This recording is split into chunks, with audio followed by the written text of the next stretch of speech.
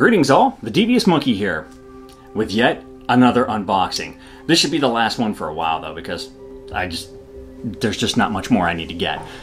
But for now, here's what I got. So it finally arrived. I'm gonna unbox my Sigma 24-70 f2.8 art lens. Let's do it.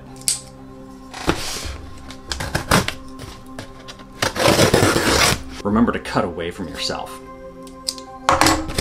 There's the first thing. The Freewell 82 millimeter UV filter. So here's what we got going on. We've got a SanDisk Ultra 64 gig card, which is useless to me. It'll go in a drawer. One of the things I was really looking forward to, this LaCie Rugged Mini one terabyte drive. It's not really focusing because of all the lights shining off the shiny plastic shit. But yeah, I was pretty stoked about this being part of the package, which is another reason why it just pretty much made me go ahead and get it. Now we've got the Sigma 24 to 70 f2.8 DGDN. I've heard nothing but good things about this lens. I'm hoping that I have a good copy. Paperwork, there's a strap that goes with the bag. I don't know why I keep showing it up here, it never focuses, so I'll just stop. Nice bag, again, with all of the cushioning stuff up here.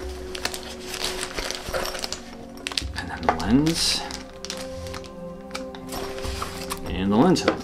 All right, so I'm gonna sort of do everything all at once, because once I open this up in my dusty ass dirty place, it's gonna be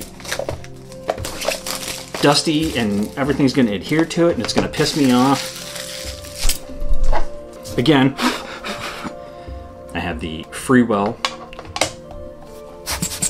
magnetic 82 millimeter.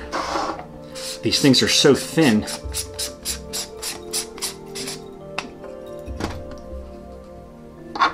There we go.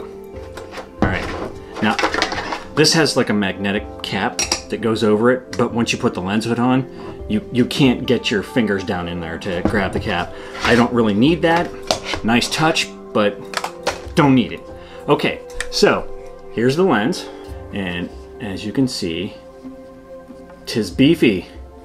It's got all the usual stuff on it, so autofocus to manual focus switch, autofocus lock or programmable button, and an actual lock to keep it from extending, and then you can extend it after you take the lock off. Ooh, ah. All right. So other than for specific things, this will actually be the lens that stays on this Sony a7R4 probably, well, I'll just say most of the time. I don't want to give a percent. It's going to be on there a long time. And another thing is that the, uh, the lens hood has that little button on it to make sure that some bitch stays on there. It doesn't just flick off.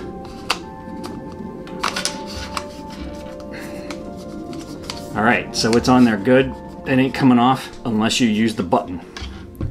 Now, so there it is. I like it. It feels good. Oh man, I love this camera. Nancy, thanks again. I love this camera. It feels perfect in my hand. And, and now with this lens, it's going to be just that much better. I mean, it doesn't extend out that far, and I mean, even if it did, uh, you know, I usually walk around with a 70 to 200, or at this junction in time, the 100 to 400. So the 100 to 400 will obviously be for, you know, theoretically when I go into the state park and I want to try to find eagles or birds or some kind of, of uh, you know, outdoor creature.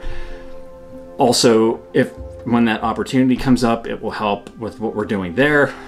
The 85 1.4 I've already determined is a beast and an amazing camera that shoots amazing pictures. That's going to be my basically my modeling portrait lens that I'm going to use. Although it has been pretty great walking around the past week with it, uh, you know, as a go-to walk-around lens.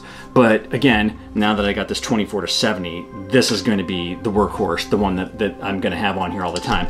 I will go back to my old ways, meaning I will have this camera with me pretty much at all times. When I leave this house, this camera will be around my neck. For any opportunity that comes up, anything that catches my eye, or just to practice playing with the settings and seeing what the camera can do, I am thrilled to death with this equipment.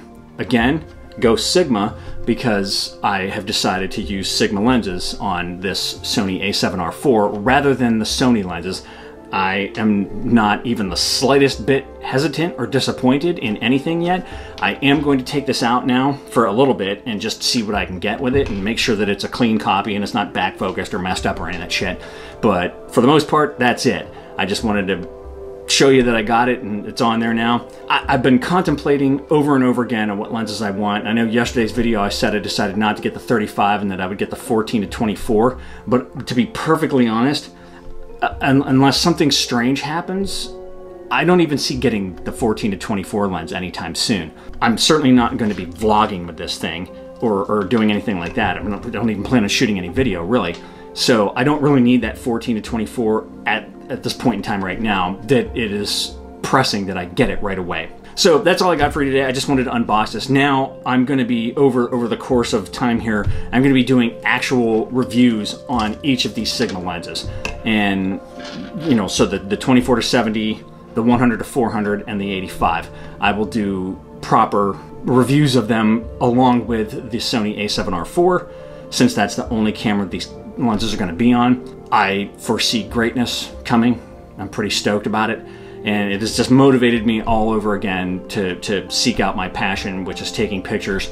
And, you know, I, I couldn't be happier. So that's all I got for you today. If you have any comments, suggestions, or whatever, leave them down in the comments below. As always, thanks for joining me. Like, subscribe, and all that shit. And remember, kids, forward and up.